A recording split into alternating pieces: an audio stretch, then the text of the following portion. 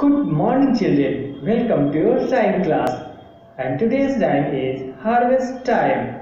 Start now. Harvest time is here again. In the garden we must dig. Carrots, radishes, onions too.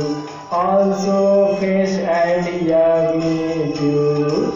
This time is here again. In the garden we must